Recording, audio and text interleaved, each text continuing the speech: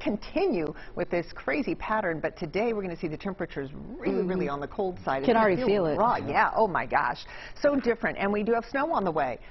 Yay! Sylvie might get I know. put that snowsuit on. I did not put the snowsuit away. It is Do still on the table, I'm- waiting. I am thinking, you know, a few snow showers today, but I, I'm thinking Tuesday morning if you're home with the baby. Oh, I'll be home. You might I'm get to, you might get to go out. Not a lot. Not a lot. I don't want you to get excited. We're not talking half a foot of snow. All right, let's go ahead and take a look at what's going on. Beautiful Bethlehem. Boy, are you cold this morning, and you are going to only get colder as the day wears on. You'll probably hover somewhere in the mid 30s out there for today with a wind chill in the 20s much of the day. So different than the day that we started yesterday, right? Let's take a look at those numbers again because I want to show you that change. It's 33 in Philadelphia, 27 in Allentown, 35 in Wildwood. Now let's look at the 24-hour change.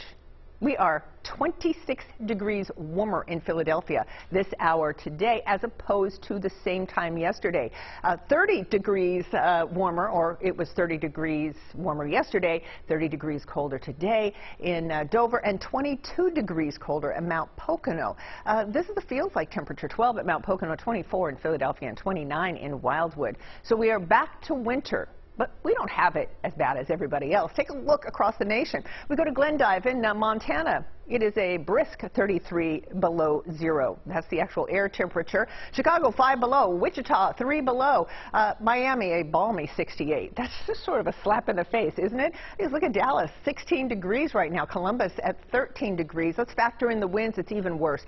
Feels like 33 below in Glendive. Feels like 38 below in Sioux Falls. We are looking at a 28 below in uh, Chicago. And uh, yes, Miami continues to be a balmy 68 degrees. Here's where we're going today. We're going up to uh, either side of 40 degrees, and then we'll see temperatures cascade off. We'll be into the 20s by 9 o'clock tonight. Hard freeze is on the way. If you've not winterized things because temperatures have bobbled up and down, you really need to do so and make special preparations for your pets.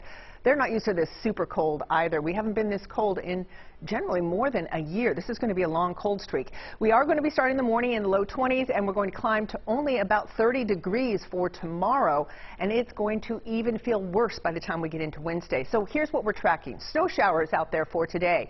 This front comes through, brings a few snow showers but brings much colder air behind it. So a second push of cold air. Dangerous cold is going to be with us all week and Monday night into the first part of Tuesday, we could be talking about some snow out there.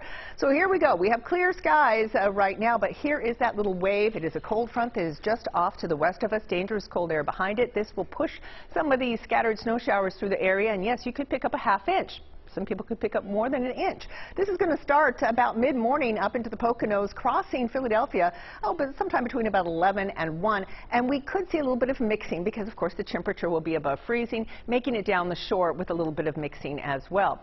Then we're going to clear out. It will be extremely cold tonight. There'll be no warmth left in here. We're going to the teens and 20s tonight.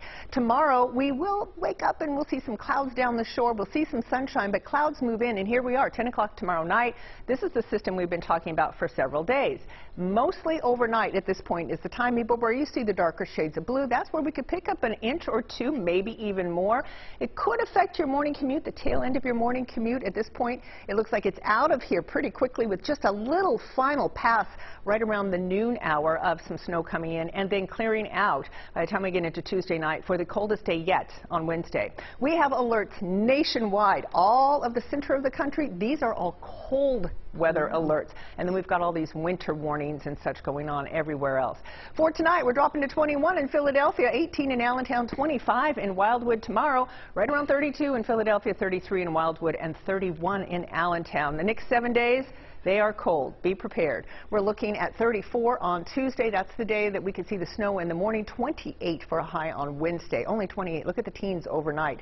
Wednesday morning, Thursday morning, and we're still in the deep freeze all the way into the weekend. So I need you to have that big puffy coat for you and that adorable snowsuit for the mm. baby because I want to see pictures to you. Oh, you'll you know you'll see pictures. Yeah. Probably see too many of them. All right. you, you can share your snowsuit too, Howard. You wear your snowsuit. You got it. You got it.